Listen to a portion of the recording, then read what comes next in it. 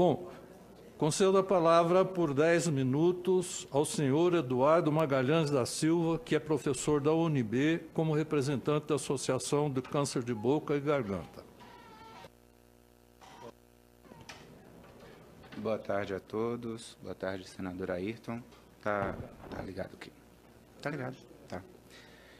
Demais autoridades presentes. É, anualmente, cerca de 14 milhões de pessoas no mundo desenvolvem algum tipo de câncer. E este, este, esse, essa patologia eleva o índice de mortalidade em cerca de 15%.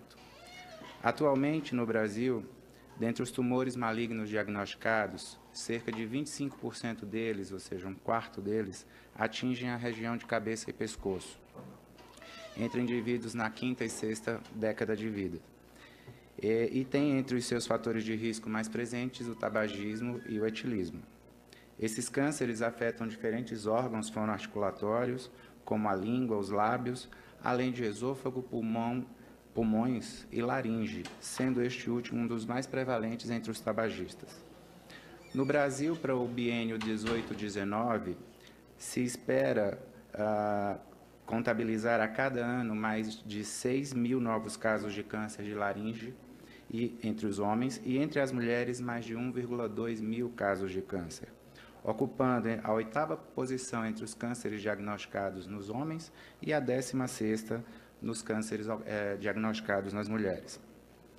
Vale, vale, ressaltar que até metade do século XX, o câncer de laringe era um, um diagnóstico raro. E os seus primeiros sintomas, que são a rouquidão, as dificuldades de, é, de engolir e de respirar, podem ser confundidos com outras condições mórbidas que podem retardar a identificação das lesões e o diagnóstico do próprio câncer. Estes tumores trazem consequências que são inevitáveis e imediatas, quais sejam a dificuldade de comunicação, de respiração e de alimentação. Esse diagnóstico tardio, em geral, traz um pior prognóstico à reabilitação desse indivíduo, desconsiderando que nem sempre estes indivíduos apresentam condições ideais para a reabilitação, tampouco possibilidade de acesso a um sistema especializado de saúde.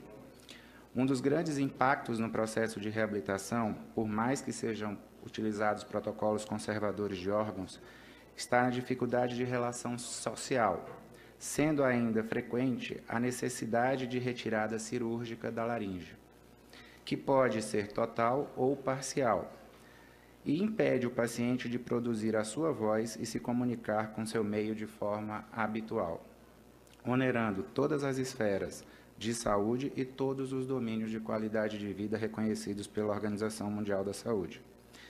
Para além disso, esse indivíduo ainda tende ao isolamento social, impactando em seu contexto de trabalho e de produtividade, é, devido à diferença comunicativa interposta, devido à curiosidade gerada pela presença do traqueostoma no pescoço, por onde ele passa a respirar, e devido ao estranhamento de uma voz que é rouca, baixa e que não atende às suas demandas de comunicação, muitas vezes pela dificuldade de compreensão interposta aos seus locutores.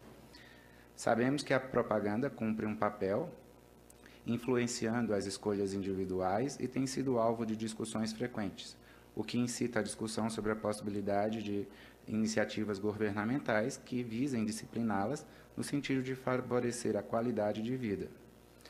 Uh, assim, iniciativas como esta podem trazer importantes consequências para as ações promocionais e de apresentação deste setor. O PLS 769-2015, de autoria do senador José Serra, e atualmente sob a relatoria do, do senador Cristóvão Buarque, é de grande importância e relevância à sociedade brasileira. Haja vista a possibilidade de adição dos futuros cidadão, cidadãos e a promoção de qualidade de vida. Lembrando, como já dito pelo próprio senador Cristóvão Buarque, que este hábito de fumar não significa necessariamente o desenvolvimento do câncer, mas, aliado à genética individual, essa incidência pode ser potencializada pela presença de fatores de risco. E como profissional de saúde, nós temos de lembrar a dificuldade na reabilitação desses, dessa, desses indivíduos e reinserção social desses indivíduos com um contexto de comunicação diferenciado. Não só no aspecto vocal, mas em todas as nuances que a saúde pode abarcá-los. Muito obrigado.